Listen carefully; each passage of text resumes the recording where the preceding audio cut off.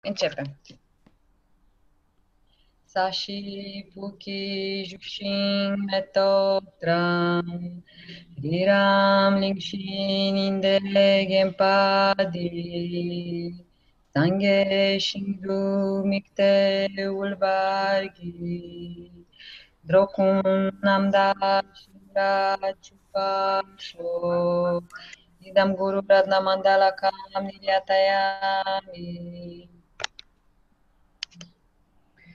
Sange Chudam Toki Choknam Lam. Janchu Bardu Dagni Kyapsuchi Daki Jinsangi Pe Sunam Ki. Drola Penchi Sange Drupasho Sange Chudam Toki Chognam Lam Janchu Bardu Dagni Kyapsuchi Daki Jinsangi Pe Sunam Ki Drola Penche Sange Drupasho Sange Chudam Toki Choknam Lam Janchu Bardu Dagni Kyapsuchi Daki Jinsangi Pe Sunam Ki Drola Penche Sange Drupasho Super. Mulțumesc! Și noi mulțumim. Deci acum trecem la lecția cu numărul 6.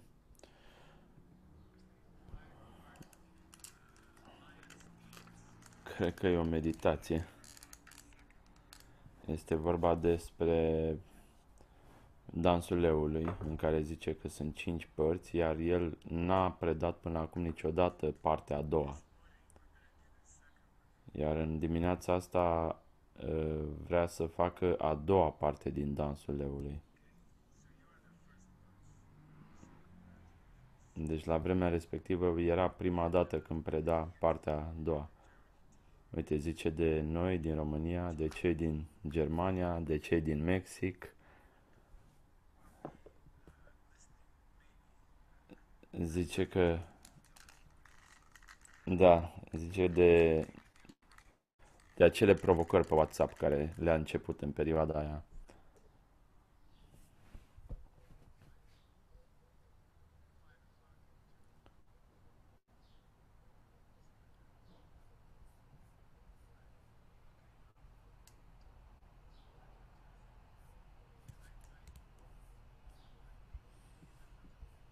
Deci, eu zic să vă pregătiți ca să facem meditația și eu să fac și eu aici să dau pe grupul de Lion Dance.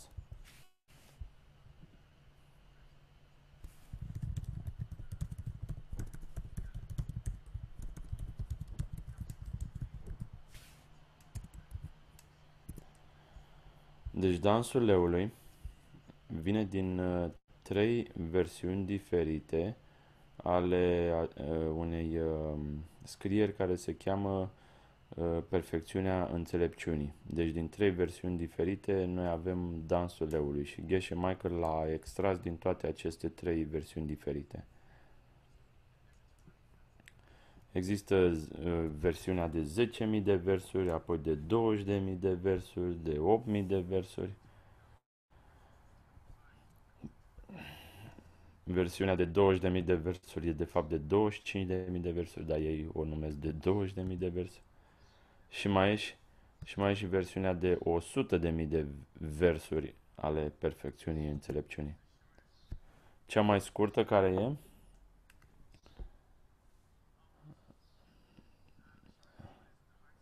Cea mai scurtă este Sutra Inimii. Iar dansul leului l-am găsit în 5 sutre.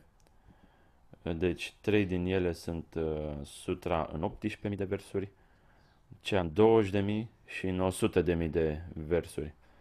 Nu veți găsi în cea de 8.000 de versuri, care e cea mai populară. Și apoi l-am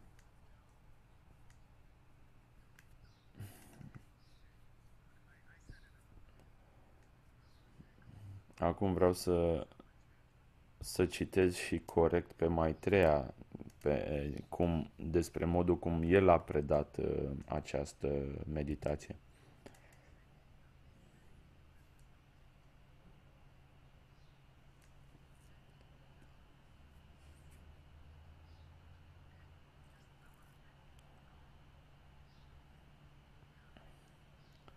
L-a citat în tibetană pe Maitreya.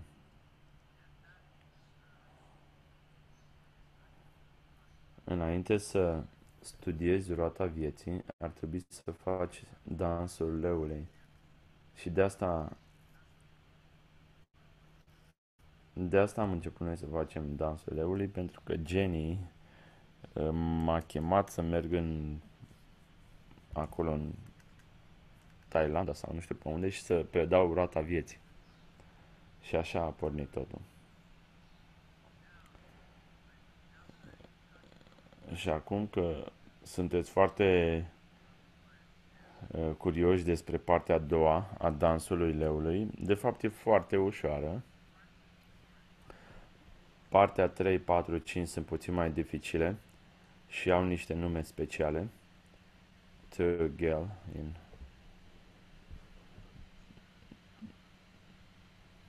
Tupa înseamnă capala sau uh, uh, țeasta capului.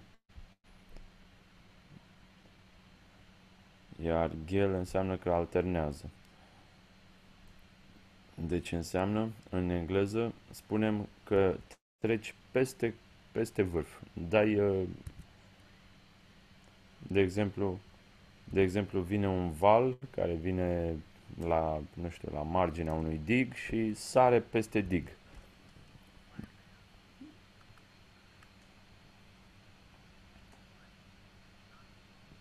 Deci, E ca și când nu este un val normal, ci este peste ce se așteaptă, sau mă rog, peste normalul. La... Deci tugel înseamnă peste vârf. Iar partea 3, 4, 5 din dansul leului, asta reprezintă. Sunt puțin mai sexy aceste părți, iar partea a doua a dansului leului, pur și simplu cobor prin cele opt niveluri. Deci după ce termini uh, să vezi vacuitatea în mod direct sau încerci să stai în vacuitate, uh, pui, uh, pui acea vacuitate în inima în lamaului tău, în, în drumătorului tău și apoi îi spui ne vedem mai târziu. Și apoi te duci la nivelul, cobor la nivelul 8, apoi nivelul 7, nivelul 8 este aleg să nu aleg, nivelul 7 este să, să dezactivezi complet mintea, apoi nivelul 6, da? Deci cobori cu liftul prin niveluri. Iar în mod tradițional nu ne coborâm chiar până la nivelul aerului condiționat, ci ne oprim în inimă. Ne oprim la primul nivel al uh, uh, formei.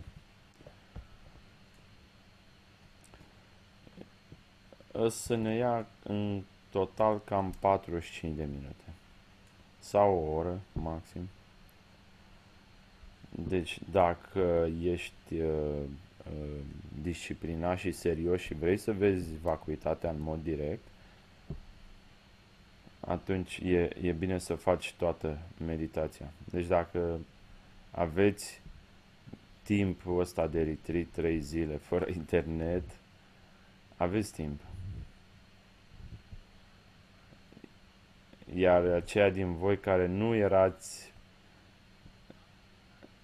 deci voi, tinerii care nu erați în viață când a venit, când a apărut internetul, când a apărut internetul la vremea respectivă, se promova ca fiind o tehnologie care vă va salva timp. dar acum ți ia tot timpul. Deci, vă încurajez în timpul celor trei zile să vezi cum te simți să nu stai pe internet. Și e chiar mișto. Nu sunt împotriva internetului și eu îl folosesc pentru meditații și mă bucur, mă îmi place, aflu multe lucruri. Și cred că și voi îl puteți folosi ca o unealtă, poate să fie foarte folositoare. Ne ajută grupul să devină internațional, dar uneori e bine să nu-l folosești câteva zile. Și, și și asta poți să te bucuri și de asta, de, te bucuri și de alți oameni, deci e, e foarte, foarte frumos. Deci încearcă timp de 3 zile să nu stai pe internet. E puțin incomod. Te trezești și n-ai ce face, dar pur și simplu încearcă. Nu, nu deveni fanatic acum. Nu îi urmări pe ceilalți oameni care care care folosești și hm, tu nu-l folosești. Da, asta e. Îți place internetul, e ok, dar ia o pauză de câteva zile de la el. În mod uh, fericit, bucuros, vă încurajez, chiar vă încurajez să nu vă folosiți internetul timp de 3 zile. Cred că pe viitor oamenii vor învăța cum să le oprească timp de 3 zile și vor fi mai fericiți. Nu e un lucru rău, e un lucru minunat, dar în, în același timp e bine să ne luăm o pauză de la el. Deci eu vă sugerez acum să facem tot dansul leului, prima și a doua parte. Și dacă simt că obosiți, vom lua o pauză în uh, mijlocul meditației. Să vă dau și un program pentru cele trei zile de retreat. Și posibil în dimineață să faci toată meditația, prima și a doua.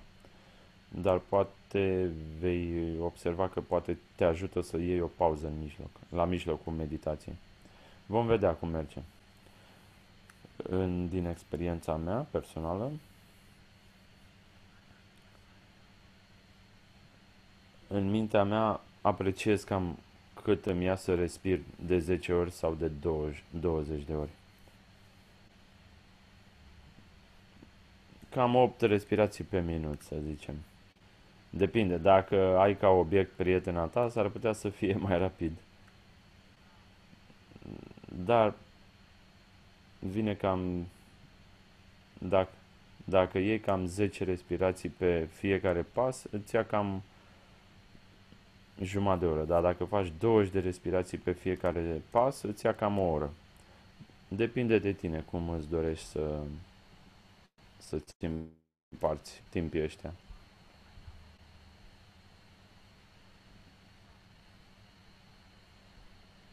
Acum, înainte de, uh, de a începe, suflați-vă nasul, beți ceva, să nu vi se usuce gura.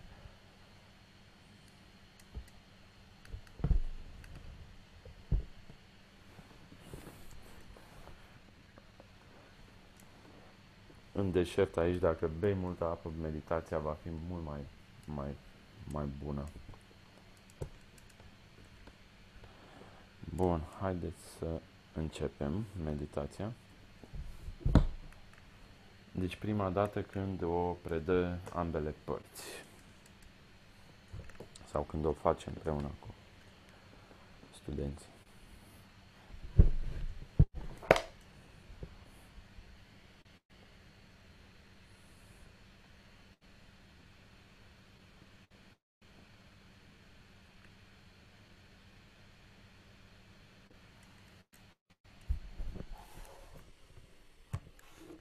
Deci, dimineața asta nu avem aer, zgomot de aer condiționat.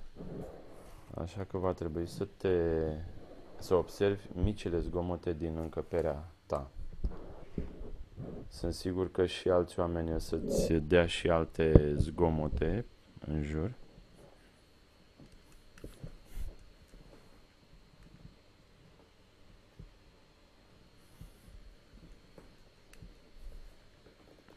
Așa că stai cu atenția timp de 10 sau 15 respirații.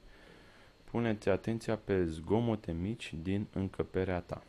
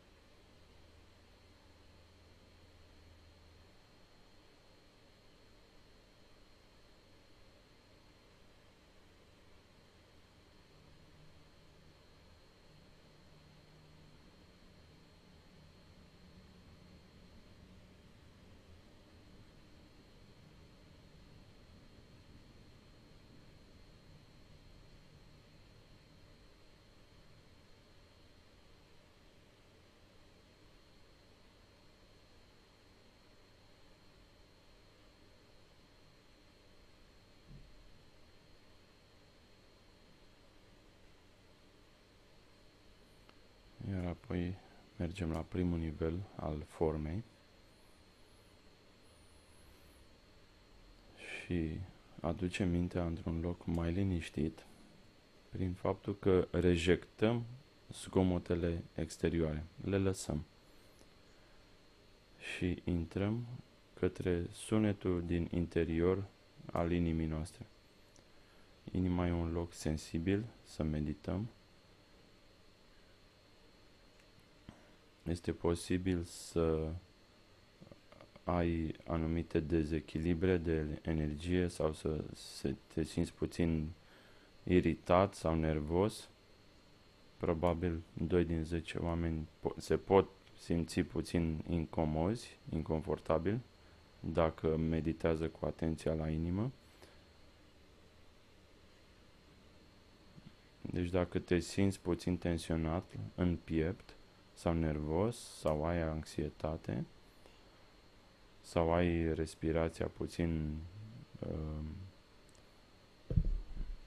ai respirația puțin uh, uh, afectată de faptul că stai cu atenția pe, pe zona inimii, există o soluție simplă pe care ne-o dă Tsongkhapa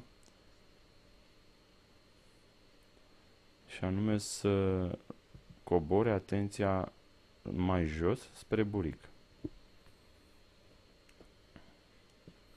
Chakra buricului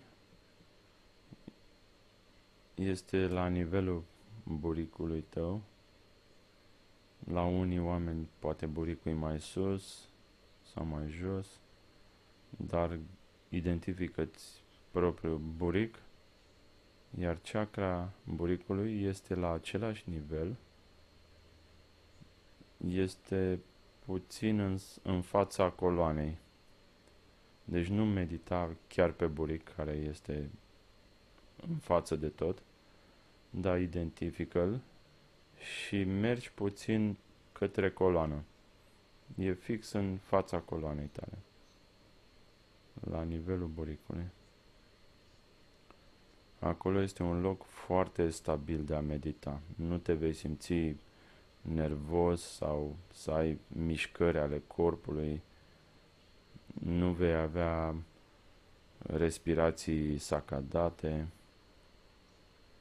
Deci dacă simți oarece tensiune în piept sau meditația te face puțin iritat sau corpul ți se mișcă, ă, mută toată activitatea mai jos către chakra buricului, în spatele buricului, fix în fața coloanei. Poate 3 3-4 mm lângă, lângă coloană. Apoi dacă mergi prea jos cu atenția, dacă, dacă mergi mai jos de buric, s-ar putea să ai constipație. Deci nu te duce nici prea jos menține-o mai sus, la nivelul buricului. Și asta doar dacă te simți nervos, anxios când meditezi la zona inimii. Și poți asculta bătăile inimii, chiar dacă ești cu atenția la, bătăi, la nivelul buricului.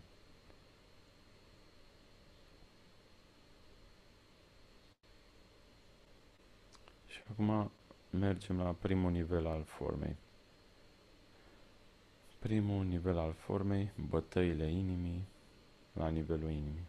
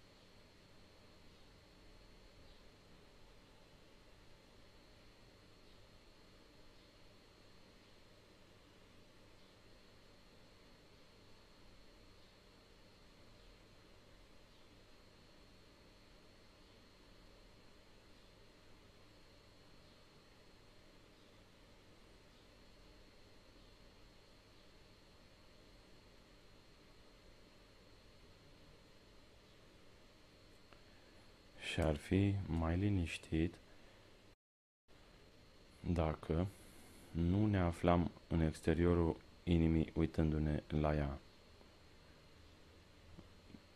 Pentru mine impresia era că mă uit cumva în jos la inimă, din, de la nivelul ochilor, astfel că mergem mai în profunzime și ajungem la nivelul 2 al formelor, și ne poziționăm în interiorul cămăruței inimii noastre. uneori chiar simt că eu însumi bat precum bate inima. Deci inima bate precum o cameră mică, iar eu mă aflu în, acele, în interiorul acelei cămăruțe. Probabil și pielea mea se mișcă cu ritmul bătăilor inimii, deci fii în interiorul inimii și renunță la efortul de a observa inima din exterior. Este puțin mai liniște să fii în interiorul inimii.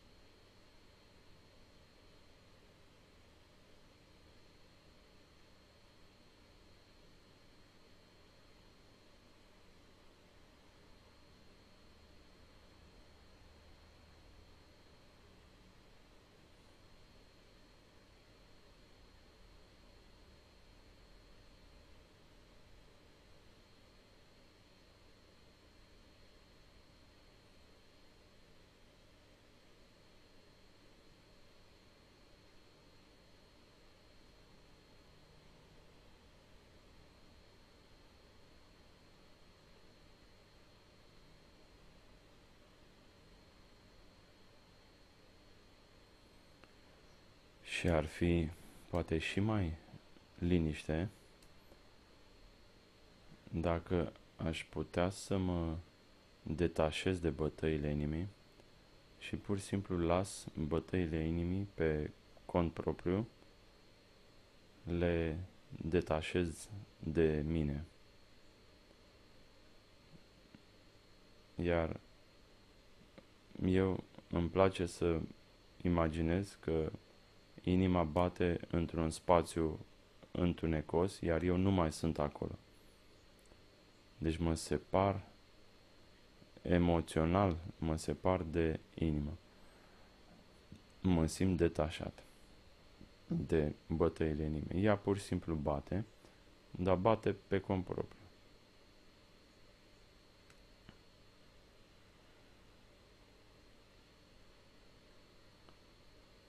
Și nu mai sunt atât de conștient atât de mult de corpul meu. Există o conștiință, dar nu așa mare. Deci, inima bate, dar nu te mai nu mai ești atât de atent la, la tine, la corpul tău.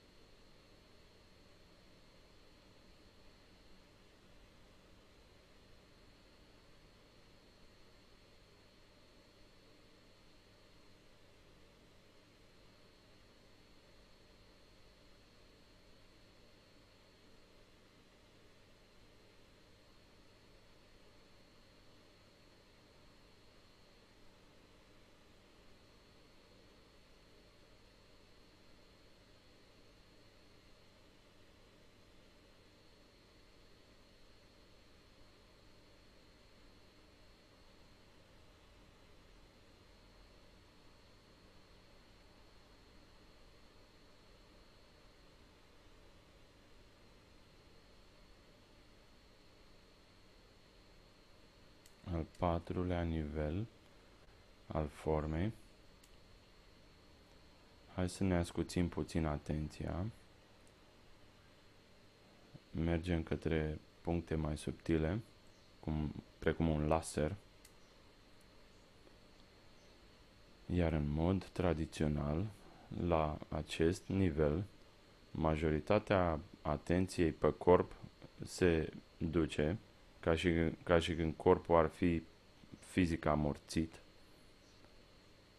Și mergi către un singur punct,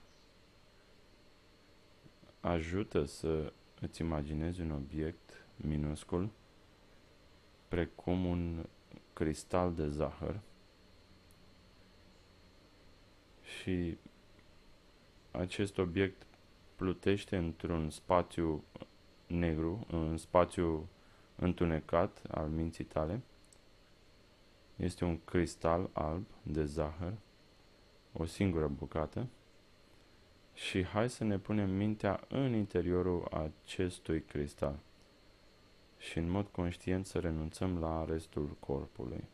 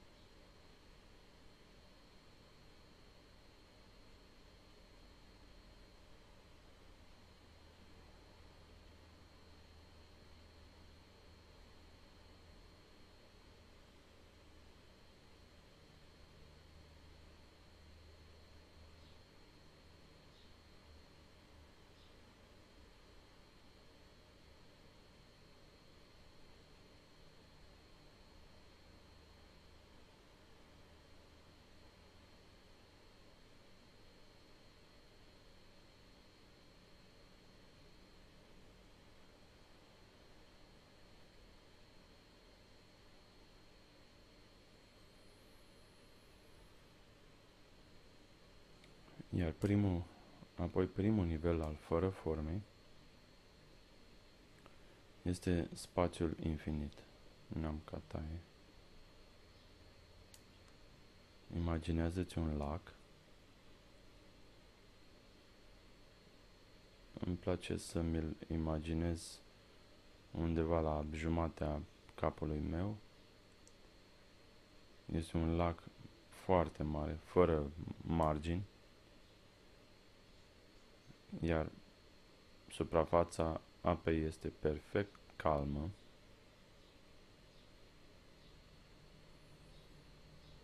Și vom arunca o pietricică în mijloc. La fel eu o simt ca fiind în mijlocul capului meu. Iar apoi unde ale apei vor vor, se vor extinde în stânga și în dreapta la infinit. Deci ține aceste unde, împingele din ce în ce mai mult în exterior, din ce în ce mai mult. Dacă ești ambițios, poți să încerci acest nivel cu spațiu infinit în interiorul cristalului de zahăr.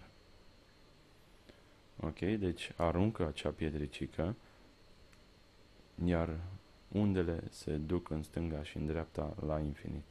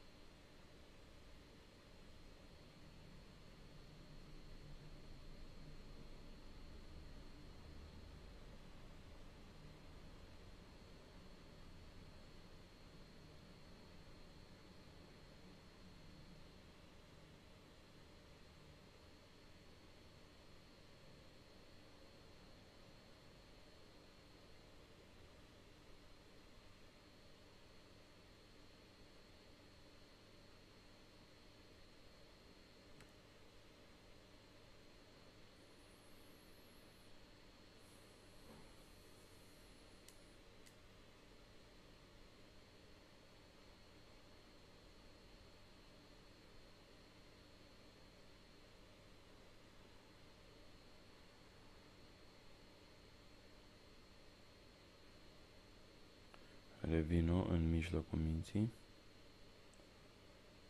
Pentru mine e un spațiu întunecat și mă întorc în centru. Și vom aprinde o lumină, o mică luminiță. Este lumina, o lumină limpede care va, se va aprinde sub formă de sferă și se va extinde în mod rapid și se va extinde către întreg universul, dincolo de sistemul nostru solar, dincolo de galaxia noastră, dincolo de planeta noastră. Iar această lumină, uh, această lumină clară este atenția mea, conștiința mea. Nu este spațiu fizic al lacului. Acum e pur și simplu conștiință o sferă imensă de conștiință care se extinde probabil se extinde și se se întâlnește cu alte sfere ale altor oameni din alte lumi. Deci hai să aprindem această luminiță.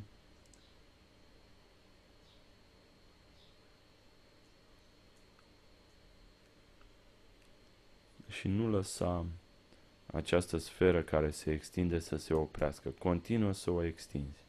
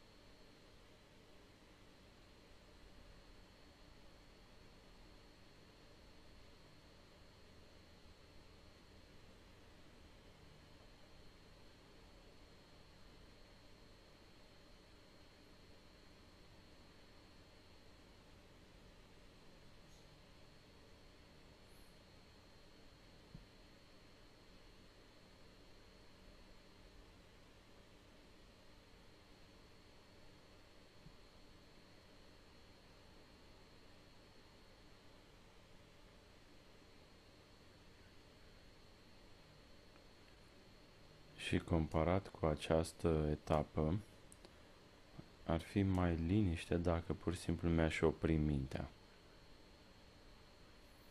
Îmi place să îmi imaginez un întrerupător și sting această lumină. Iar mintea se oprește, fără obiect, fără amintiri, fără gânduri, fără planuri, pur și simplu e întuneric, fără nicio conștiință. Deci, oprește-ți mintea, mergem către al treilea nivel, fără formă. Dacă apar gânduri, în mod conștient, oprește-le. Observele și oprește-le.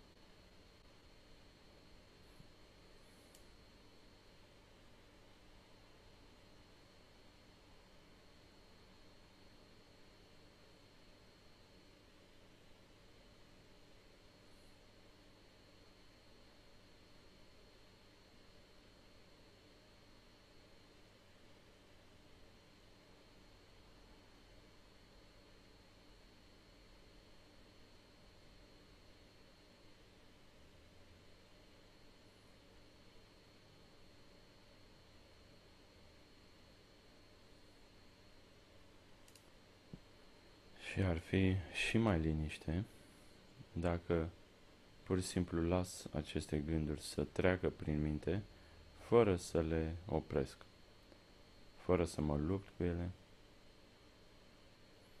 fără să încerc să le opresc, să le sting și în mod egal ar fi bine dacă ele nu ar fi și mintea ar fi oprită. Deci pentru a evita zgomotul interior al efortului de a opri aceste gânduri, la nivelul 8, fără formă, nivelul numărul 4 al fără forme, îmi opresc mintea, dar dacă apar gânduri, le las pur și simplu să plutească. Le las să plutească în mintea care este oprită. Vor veni, vor trece și apoi eu mă întorc la mintea care este oprită.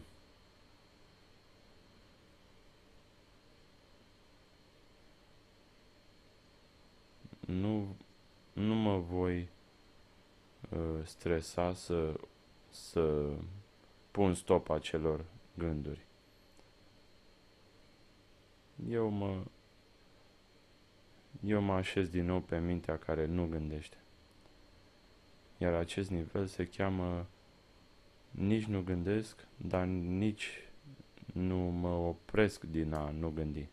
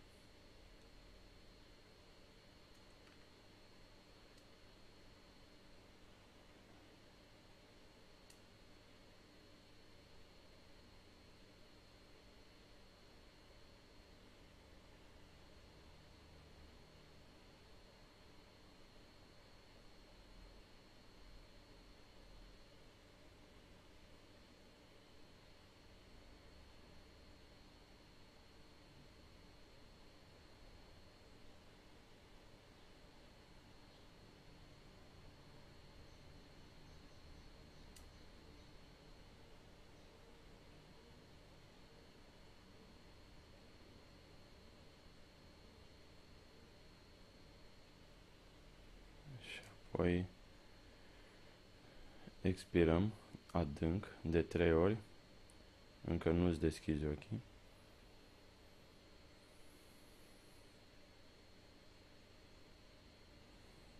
Mai târziu ne vom folosi de expir pentru a dedica karma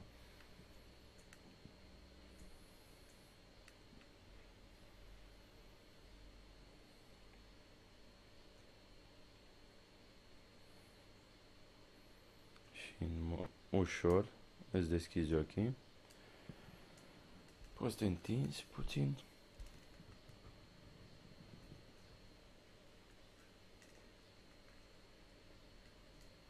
Dacă aveți întrebări despre aceste etape până aici, există o singură întrebare.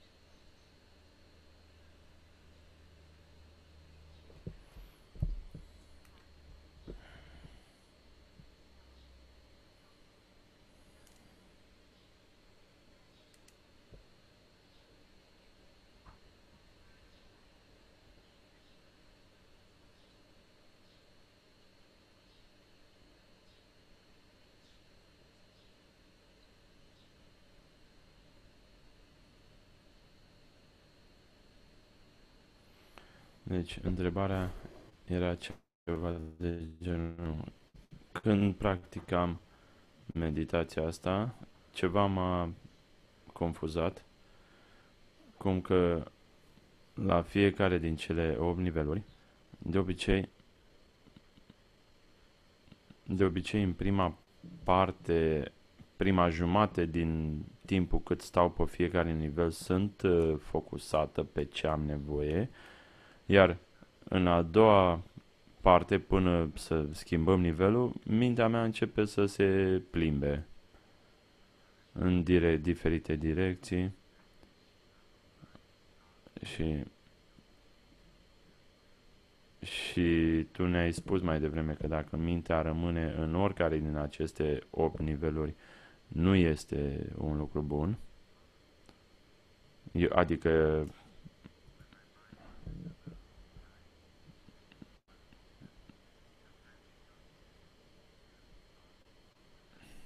Iar când, când mintea mea când mintea mea începe să se plimbe în a doua jumate a fiecărui nivel, se duce fie către gânduri frumoase, fie către, către gânduri mai puțin frumoase.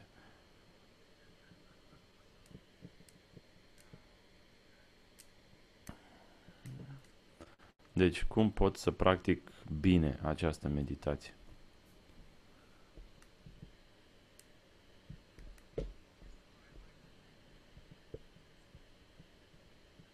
În primul rând vreau să-i mulțumesc lui Vivian și grupului lor pentru că în mod activ ei uh, strâng, strâng fonduri pentru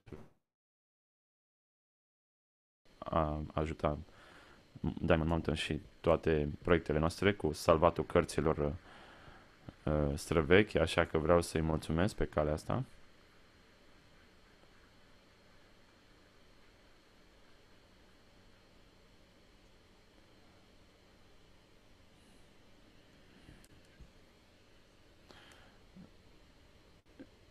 Iar în orașul lor, Guangzhou este cea mai largă zonă, mare zonă metro, metropolitană, 30 de milioane de oameni, populație. Eu mereu mă gândesc la mintea mea ca și când ar fi un câine, aveam și aici un câine la Diamond Mountain. Și câteodată câteodată câinele mai face pipi prin casă, da? Iar mintea este precum un, un animăluț. Și tu îi vorbești, îi spui, fii, fii cu minte, rămâi aici, nu te plimba. Iar apoi, în prima parte a fiecărui nivel, mintea cooperează, iar apoi începe să se să, să nu te mai asculte, astfel că trebuie să-l apuci de lesă și să-l tragi înapoi. De fiecare dată când ai observat că el fuge, trebuie să-l prinzi și să-l aduci înapoi. Și va sta o perioadă, iar apoi ușor, ușor, iar se va gândi la alte lucruri. Și tu trebuie să-l prinzi și să-i spui, hai înapoi, hai înapoi. Iar progresul adevărat în meditație nu se întâmplă când mintea cooperează, ci progresul se întâmplă când tu te lupți cu mintea. Deci când mintea începe să se plimbe și tu o apuci și o aduci înapoi, este o, simți o mică rezistență. Iar acest mușchi se va întări pe, în timp. Acesta e mușchiul meditației. Dacă tu nu ai, nu ai probleme în viața ta, tu nu te poți, uh, nu poți evolua. Când totul merge lin, nu, nu evoluezi deloc. O, un budist este bucuros când are niște probleme serioase, pentru că acum pot să mă gândesc la semințe, altfel nu te gândești. Deci mintea se duce, se plimbă, o prinzi, cum se în tibetan se, zic, se zice șeșin. Șeșin este alarma de fum care, care începe să sune.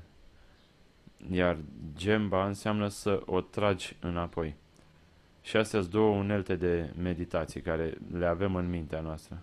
Prima este alarma de fum care face tic, tic, tic, tic când, când câinele fuge, iar drempa îl aduce înapoi. Deci este incomod și e puțin, nu prea e, nu prea e fun când, când mintea nu cooperează, iar când viața ta nu merge lin, dar în momentele alea înveți mai, mai bine și meditația ta se aprofundează. Deci în, în acele momente încearcă să o prinzi mai devreme și încearcă să, să o aduci mai cu fermitate înapoi. Și când eram, când eram în uh, clasa lui Dharma Mitra, un profesor de yoga, mi-a zis așa, când corpul tremură și te doare, atunci e momentul când tu faci progres. Deci mai rămâi o secundă.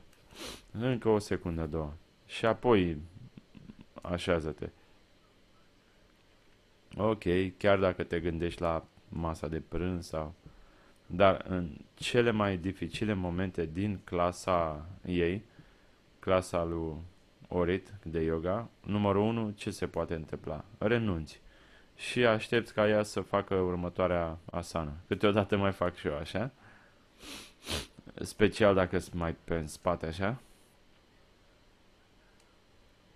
Iar alte ori, chiar dacă îmi vine să mă prăbușesc, îmi zic, hai să mai rămânem încă o respirație, să vedem dacă o putem face. Și mereu poți face. Deci luptă-te. Și nu gândi că lupta este o meditație proastă. Când te rela- dacă te relaxezi, când ai probleme, aia e meditație proastă. Dacă câinele a plecat, tu zici, hai, papa, papa. Deci nu...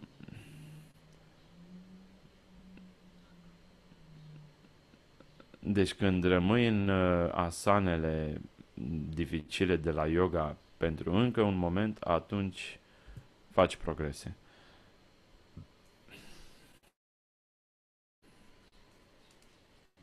Dacă mai sunt întrebări?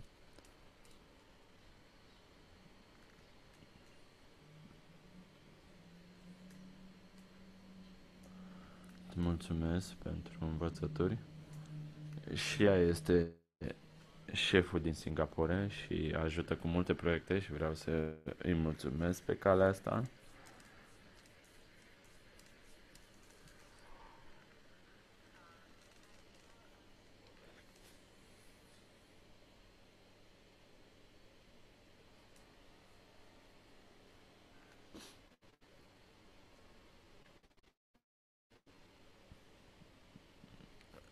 Și ea zice că în uh, viața de zi cu zi, când trebuie să mergem și la muncă, poate că nu avem suficient timp să facem uh, nivelurile de la 1 la 9 și să le și terminăm. Deci am putea am putea, ea întreabă dacă putem să facem într-o zi niveluri de la 1 la 8, iar în cealaltă zi să facem 9, dacă ne ajută, dacă ne sugerează. E o întrebare bună și asta. Gheșe zice că nu e bine să te oprești de la 1 la 8. Ar trebui să ajungi și la 9. Mulți m-au întrebat că, uite, eu am job, am copii, am alte lucruri, copiii se trezesc, oare ar trebui să fac doar de la 1 la 8 în ziua de luni, iar în ziua de marți să fac numărul 9? Sugestia mea este să treci rapid prin 1-8, de la 1 la 8. Încearcă să ajungi zilnic la 9. Noi facem mai mult timp pe 1 și 8 pentru că vreau să le învățați, dar după ce le învățați, și eu am zile când sunt foarte aglomerat. Așa că voi sta pe canapea, și voi face de la 1 la 8 în 10 minute. Și mă voi forța să trec mai repede prin 1-8, iar la 9 voi sta cam 15 minute. Deci sunt cam 5 minute, deci în total 15. Și apoi mă duc și fac treburile. Deci sugestia mea este că decât să faci 1 de la 8, de la 1 la 8 marți și apoi 9 miercuri, mai bine treci de la 1 la 8 mai rapid și petrece mai mult timp, poate mai mult pe 9. Mai e o întrebare. Zice așa că ori de câte ori fac dansul leului, mintea mea mă, mă autosugestionează să nu fac 1-8 și să fac doar 9.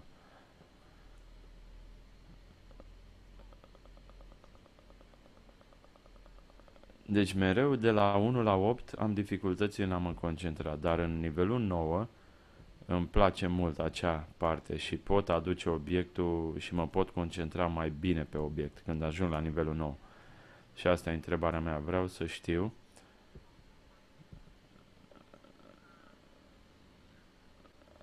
Nu mai știu ce.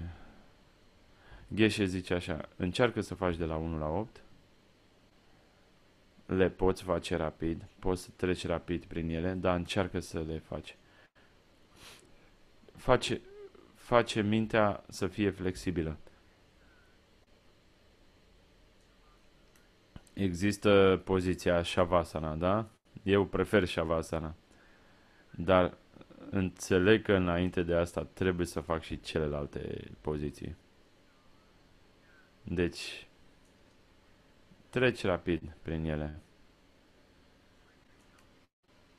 E precum uh, contabilitatea. Mie nu îmi place contabilitatea, nu îmi plac contractele.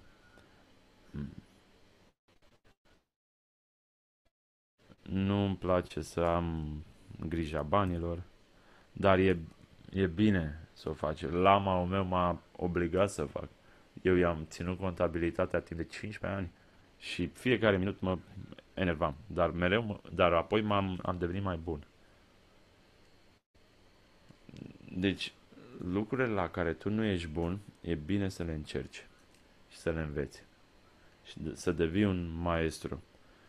Să fii maestru și pe partea stângă a creierului, dar și pe partea dreaptă, ca să ai tot creierul. Prefer să citesc cărți, prefer să meditez, nu-mi plac afacerile, nu-mi place contabilitatea, nu-mi plac finanțele, dar Tocmai de asta trebuie să le fac și să devin bun la ele. Cam așa asta treaba. De la nivelul de la 1 la 8 trebuie să devii bun la ele și nu le ignora. Buddha le-a predat, probabil e un motiv pentru care le-a predat. Și dezvoltă și cealaltă parte a creierului tău. Fă-ți finanțele și vei fi o persoană mai completă. Deci nu le, nu le lăsa deoparte. Buddha le-a predat. Le-a predat cel puțin de 5 ori în viața lui și și-a predat și mai treia. Deci trebuie să fie important să, să treci prin încălzirile astea. Bineînțeles că e mult mai fan să joci fotbal, adică numărul 9, dar învață și uh, stretching-ul. Vreți să facem acum? Hai să facem și a doua parte din meditație.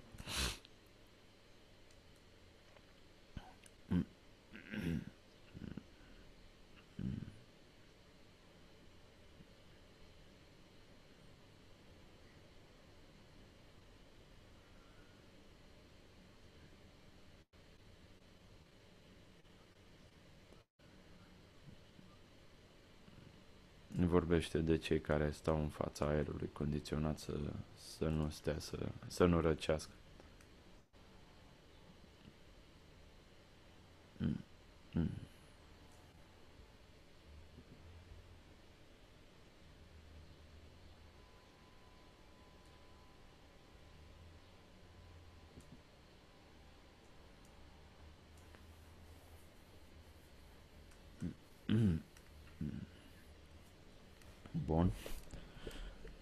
continuăm.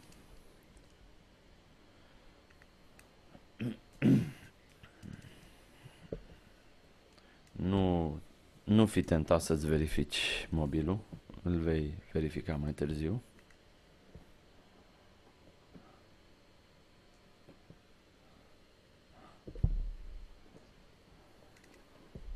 Deci,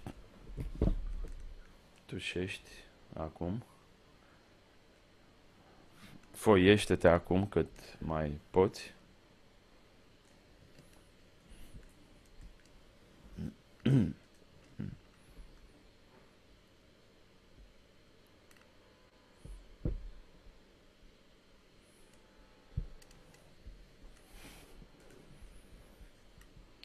Și hai să începem cu 10 respirații. Expiruri prelungite, fără a te forța, doar te relaxezi și urmărește aceste 10 expiruri.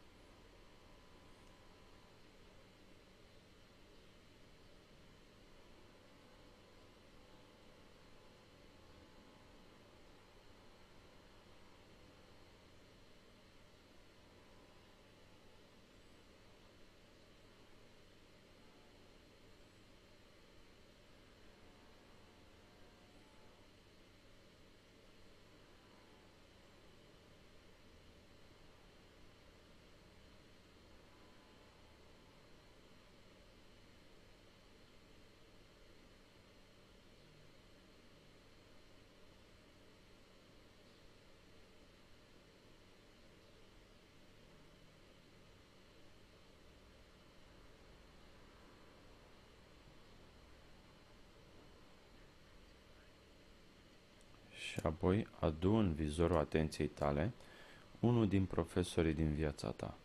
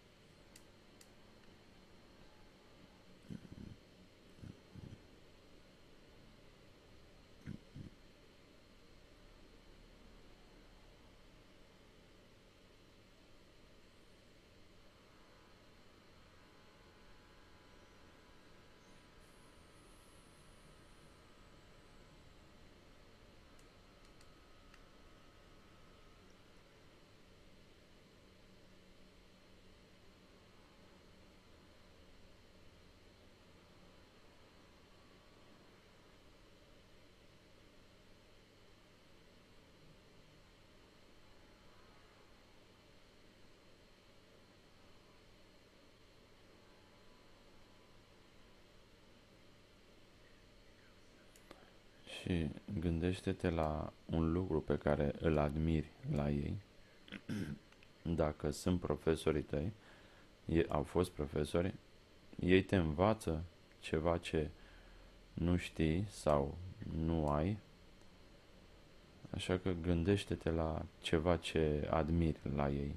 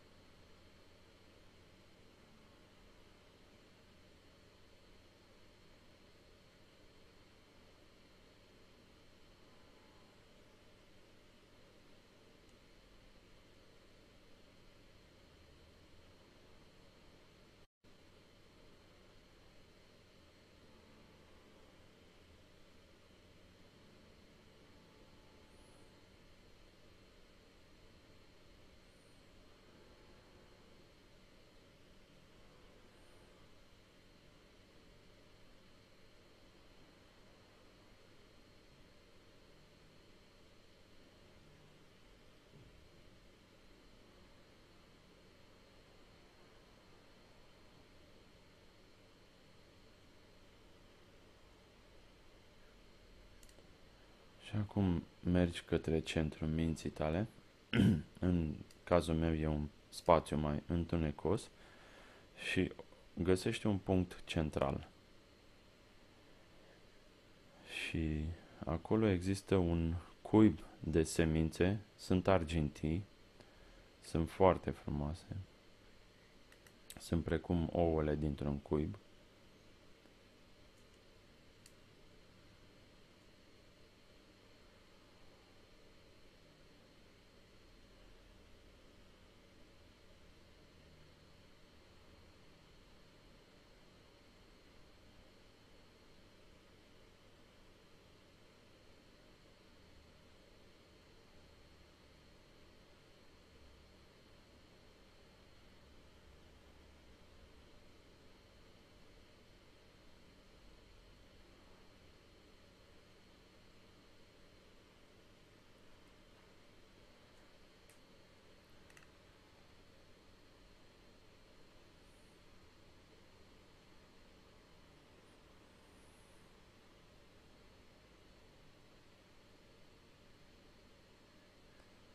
Și apoi, imaginează-ți că unul din ele se deschide. Și această calitate a profesorului tău, în cazul meu, este acea asumare de responsabilitate, ca și calitate, și această calitate se zboară din acest mic, această mică semință, e precum o hologramă care se deschide și plutește, iese din mintea mea și îl acoperă pe profesorul meu. Și de asta eu observ acest simț al răspunderii pe care el îl are. E foarte important ca în, aceste, în această parte să simți să simți pronunțat cum această calitate vine din semințele tale. Ea nu aparține profesorului tău, nu este în interiorul lor. Vine din partea ta, dinspre tine și vine din semințele tale.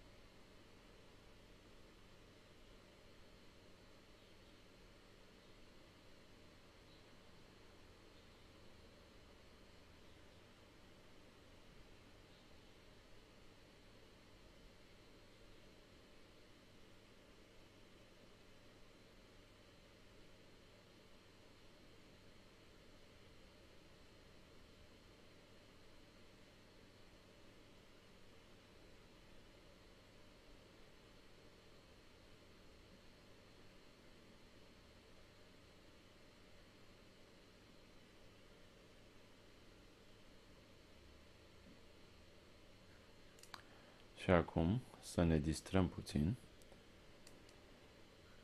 Mergi înapoi într-o viață anterioară. Ai libertate completă, nu ai niciun obstacol. fă să fie cu adevărat incitată o viață plină de aventură, de, de distracție, poate. Fă, fă ca un film al vieții tale anterioare. Iar în cazul meu, probabil am fost o persoană responsabilă.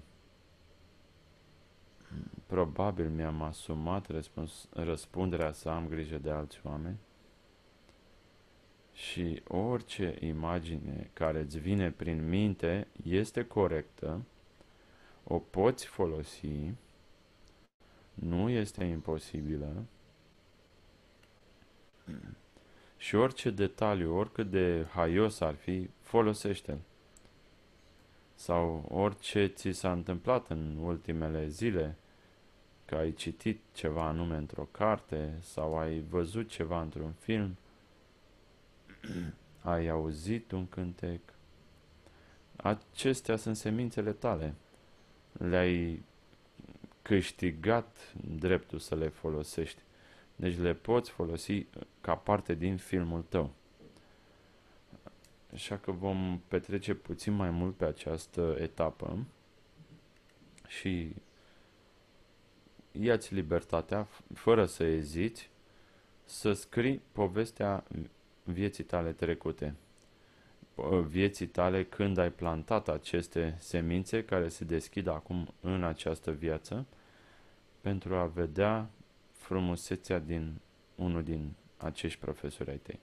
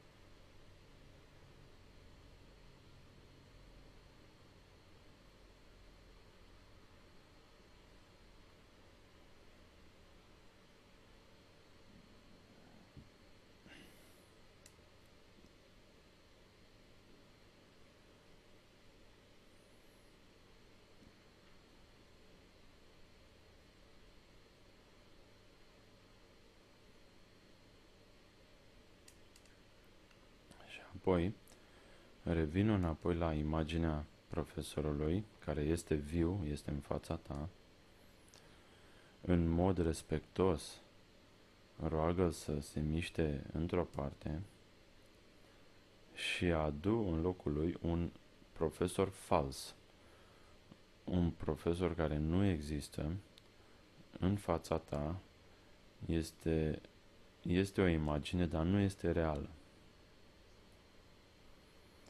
Iar acest profesor nu vine din semințele tale. Acest profesor are acea calitate care atunci când l-ai întâlnit, ea nu venea de la tine, ci acea calitate exista în interiorul lor, poate cu ani înainte să, ca tu să-i întâlnești, iar când tu i-ai întâlnit, ai văzut calitatea care deja se afla acolo și i-ai admirat. Deci acesta este un profesor fals, este acel Gakcha, profesorul Gakcha, și dacă urmărești această logică, că ei sunt un accident și că întâlnirea cu ei a fost doar un noroc și că nu vine din ceva ce tu ai făcut, atunci ei înșiși nu vin de la tine. Ceea ce înseamnă că și alți oameni la fel nu vin de la tine. Și înseamnă că și lumea nu vine de la tine. E, totul este un mare accident. Și la început a fost o explozie, mici bucățele de praf, energii s-au, s-au ciocnit una cu alta și dintr-o alea, un noroc incredibil și aleator au creat această planetă și mar, marea și cerul și oxigenul și tot dintr-un noroc aleator mici uh, creaturi, ființe au început să apară, apoi din ce în ce mai mari și în final profesorul tău a luat naștere. Și înainte, când noi îl priveam pe, pe profesorul nostru, emoția, sentimentul era că acest profesor frumos vine de, de la mine, de la ceva ce eu am făcut. Iar acum încearcă să simți opusul, că acest profesor, în mod accidental, l-am, l-am întâlnit în mod accidental, din întâmplare, și nu, nu e niciun motiv pentru care ei au venit în viața mea. De asta înseamnă același lucru ca și când n-ar fi niciun scop între noi, că n-ar exista iluminare, n-ar exista perfecțiune, perfecțiunea mea sau a lumii, totul este o mare greșeală. Și în interiorul inimii tale ar trebui să, obie- să, să se simtă greșit, să obiectezi împotriva acestei idei. Ar trebui să se simtă corect că ceea ce văd vine din ceva ce am făcut și să se simtă greșit că totul este un mare accident. Într-un fel, aceste două gânduri sunt precum demonul și îngerul, care nu pot sta simultan în aceeași minte. Deci fie învățătorul meu este o greșeală și nu există niciun scop al vieții, sau ei vin de la mine, de la bunătatea mea, iar scopul vieții mele este să fac ca această bunătate să se desăvârșească. Deci uite-te la acel profesor fals și încearcă să, să simți cât de greșit se simte când totul nu are niciun scop, nu există, totul e întâmplător,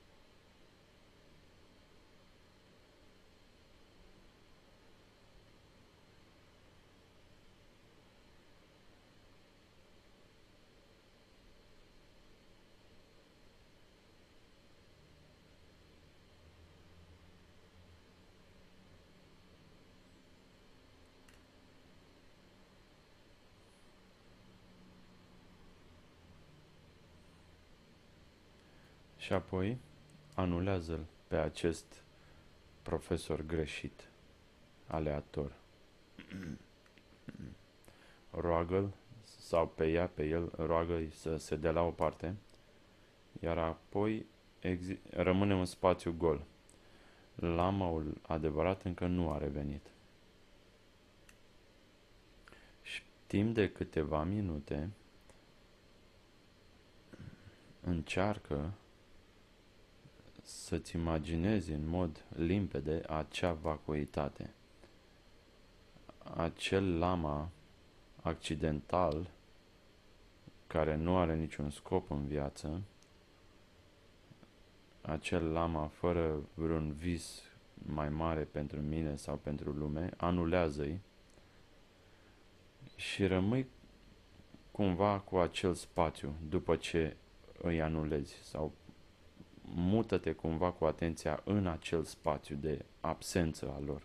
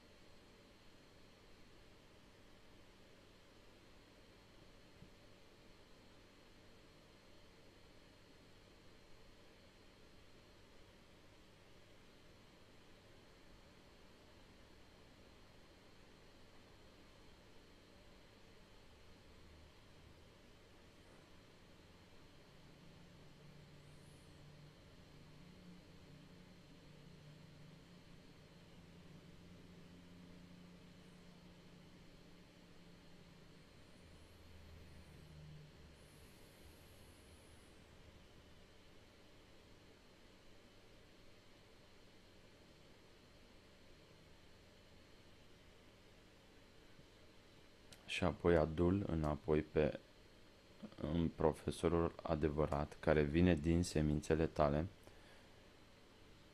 poți să îți imaginezi chiar că vacuitatea profesorului uh, greșit este precum esența lamaului adevărat. Deci absența unui profesor care nu vine de la tine este precum natura reală a acelui profesor care vine de la tine. Poți să-ți imaginezi acest spațiu în inima profesorului tău.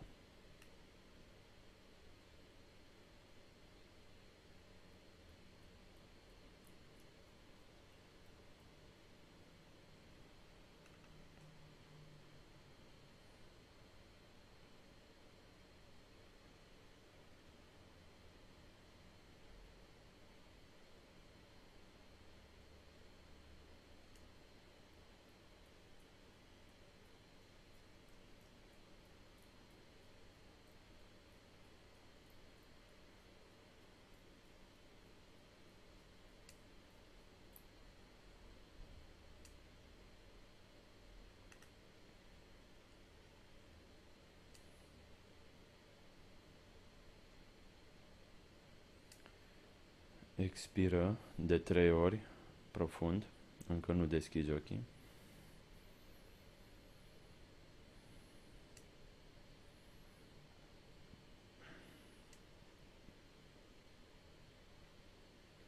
Și apoi deschide ochii.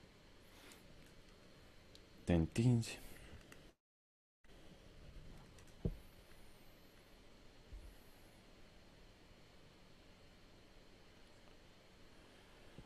Iar uh, noi uh, propunem acum să ne oprim aici, pentru că văd că și ora se apropie de final.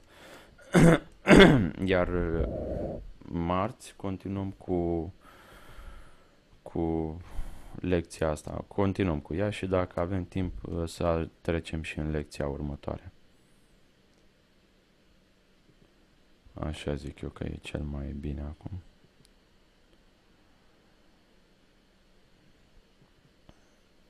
Așa că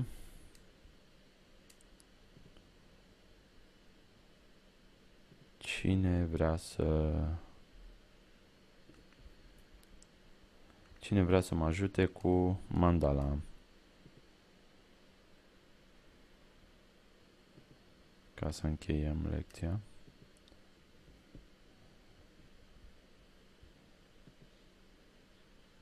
Mai sunteți? Suntem. Super. Hm. Vrei tu să zici, Adina? Ah, sigur. Haide.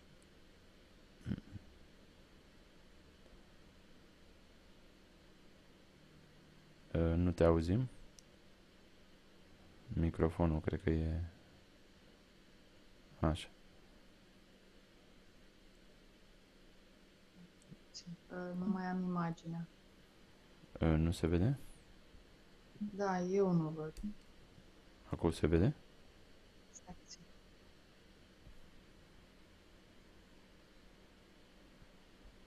Așa. Aici este Marele Pământ, plin de miros de tămâie și de o pătură de flori acoperit. Mărețul munte, cu cele patru continente, purtând soarele și luna ca bijuterie, în mintea mea mi le imaginez, paradisul lui Buddha, și le ofer în dar pe toate ție. Datorită acestei fapte, fie ca toate ființele vii, într-o lume plină de puritate, să locuiască. Idam Guru Ratna Mandalakam Niryatayami. Datorită faptei mele bune, pe care am făcut-o chiar acum, fie ca toate ființele să-și desăvârșească colecția de merite și înțelepciune și astfel să dobândească cele două corpuri sublime, ce numai din cele două se înfăptuiesc. Super. Mulțumim din suflet. Mulțumesc și eu că ați fost Zi prezenți. frumoasă tuturor. Mulțumim. Să avem o zi frumoasă și să ne revedem pe marți cu următoarea lecție. Mulțumim. Ciao, ciao. Mulțumim.